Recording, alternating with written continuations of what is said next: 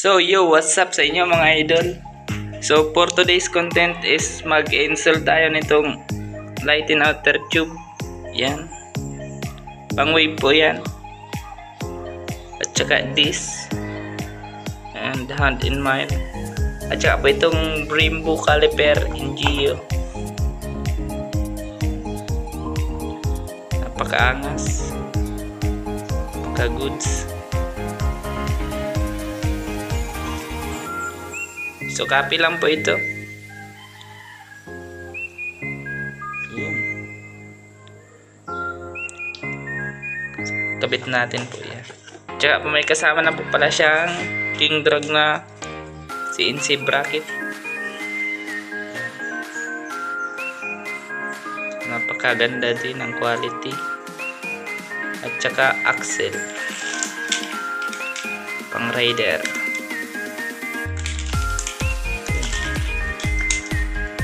At saka po itong hub, may kasama na din po pala itong hub. Yung pinakabit ko na po. Siya nga pala mga idol, kung magpapakabit kayo niyan is kailangan nasa loob yung rayos niya, yung pagka-align. Kasi sasabit po siya sa caliper kapag nasa labas. Dito. So yun, kabit na po natin. So simulan po natin dito sa outer tube. Siya nga pala mga idol, kung bibili kayo nito is may kunting conversion. So, gaya na lang po dito yung butas niya. Is kailangan nyo pong palakihan kasi para pumasok po itong tornilyo niya. Kasi maliit po yung butas, eh, hindi kasya ito. Yan, ganyan. So, napalakihan ko na po pala ito. So, cash. Yan. Pasok na po siya. So, yan lang po yung kailangan nyong gawin po. Pabarinahan nyo lang po yung butas niya. So dito naman po sa outer tube nyo, kung gusto nyo po mag magic lowered, kasi ako magma magic lowered kasi may issue na po.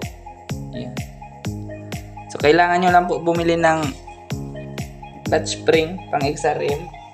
So ito po yung stock na spring niya. Ganyan. So dadagdagan nyo lang po yan. Yung isa. Ganyan para po mailubog natin to. So testingan po natin. Lagay.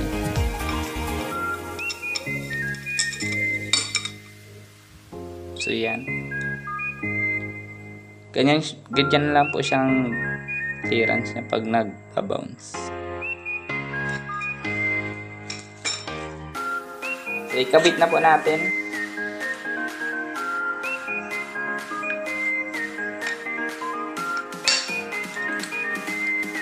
So, lagyan lang po natin siya ng tornilyo. Ay.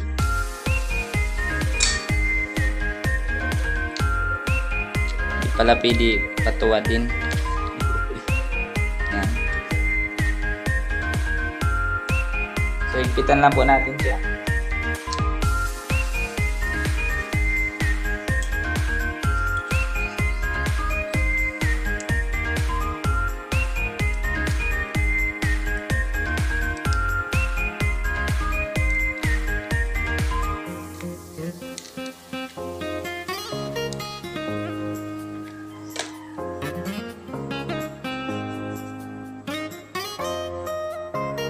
So maya na lang po natin siya higpitan ng mabuti kapag nakakabit na yung spring niya.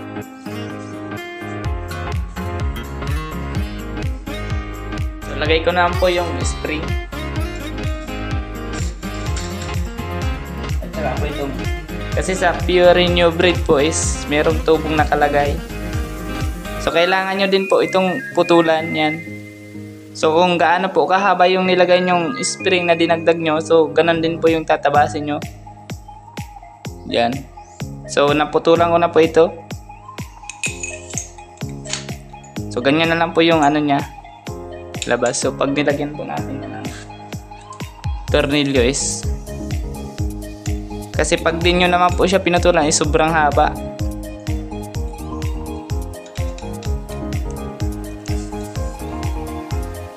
So, goods lang po yan.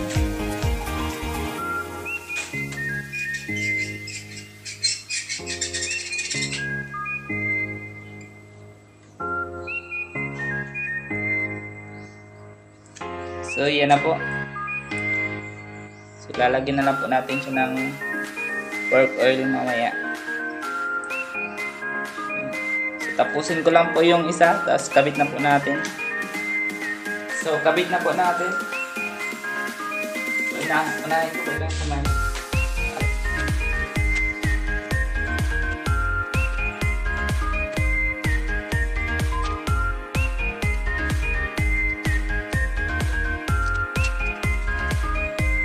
So yan, okay na po siya mga idol. Yun.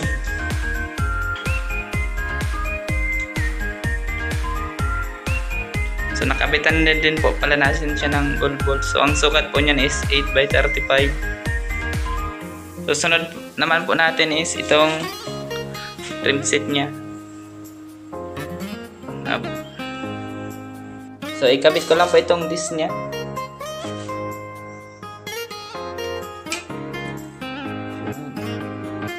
Tapos itong disc bolt na gold.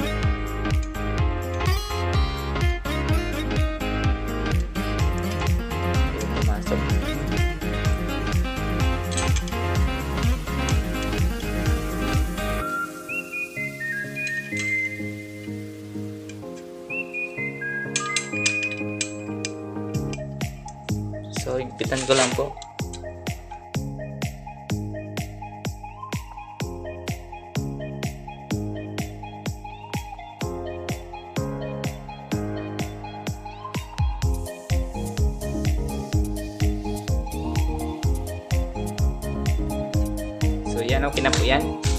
Kabit na po natin.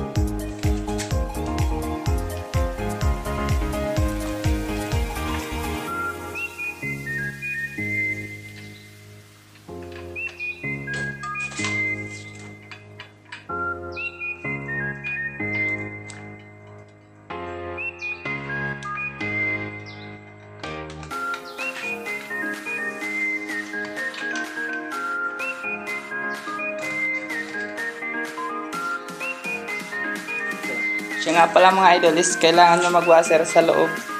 Dito. Kasi maluwag po siya. So, lagay natin to.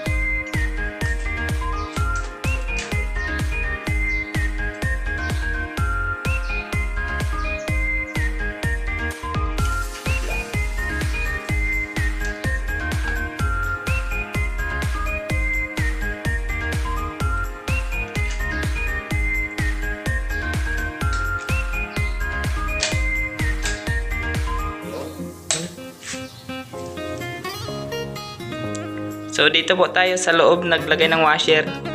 So kasi pag hindi po tayo naglagay is maluwag siya yan. May clearance. So meron pa nga po siyang konti. Pero okay na po yan.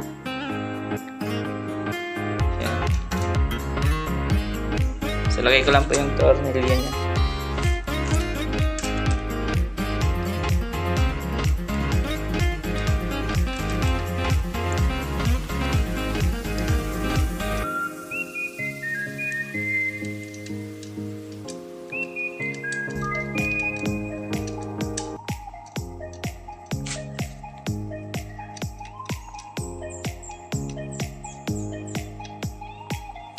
Goods na po yan.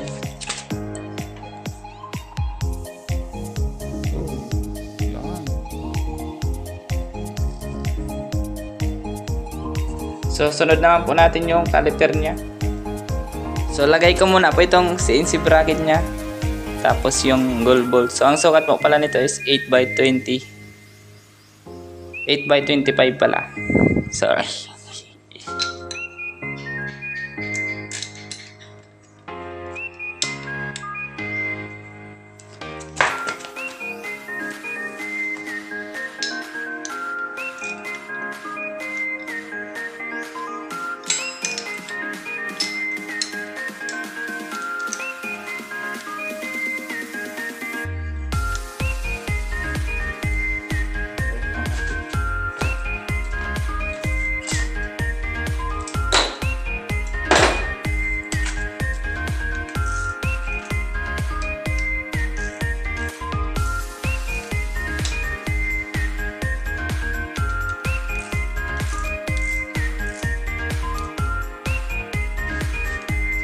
Naman po itong caliper niyang Brembo.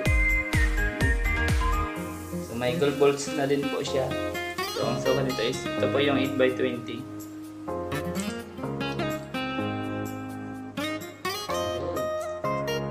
Saktong sakto lang.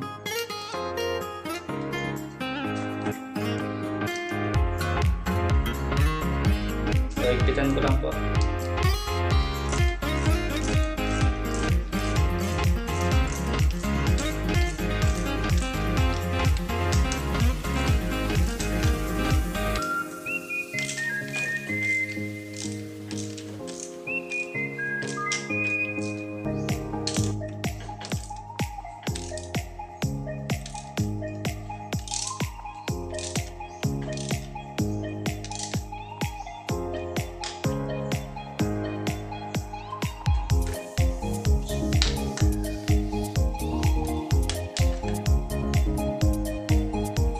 Yan, goods na po yan.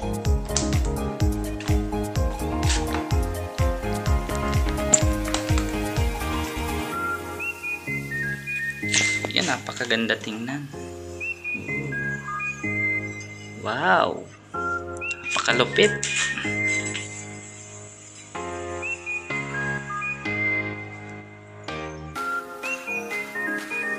So, nabili ko nga pala siya sa halagang siguro wag na lang po.